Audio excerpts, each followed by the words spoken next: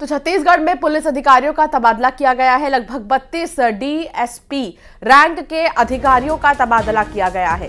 के के पटेल को पुलिस अधीक्षक ऑपरेशन दंतेवाड़ा, उद्यान बिहार को नक्सल अभियान का उप पुलिस अधीक्षक सपन चौधरी को सुकमा ऑपरेशन डीआरजी का जिम्मा दिया गया है। तो अधिकारियों का तबादला छत्तीसगढ़ में देखने को मिला है।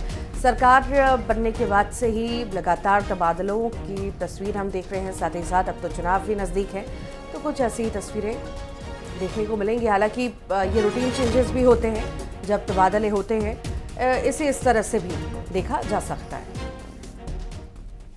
मुंबई के कमाथेपुरा में भीषण आग लग गई। पुलिस बीच चौकी के सामने आग लग गई और पाँच दमकल गाड़ियाँ मौके पर इसे बुझाने के लिए रवाना भी हुई।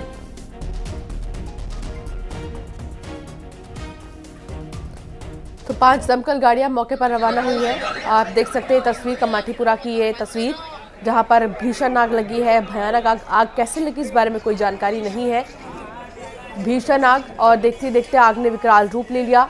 दमकल विभाग की कई गाड़ियाँ मौके पर पहुँची और आग को बुझाने का प्रयास किया गया।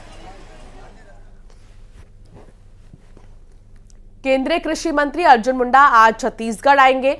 बालौद के कार्यक्रम में वो शामिल होंगे। और आज कृषक उन्नति योजना का राज्य स्तरीय शुभारंभ करेंगे। किसानों को धान के अंतर की राशि भी देंगे। साथ ही साथ किसानों को सरकार तेरह हज़ार करोड़ रुपए देने वाली है।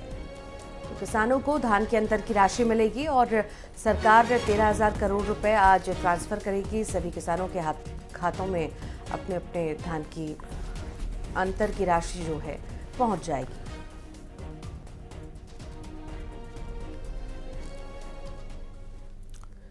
यहाँ रुकेंगे।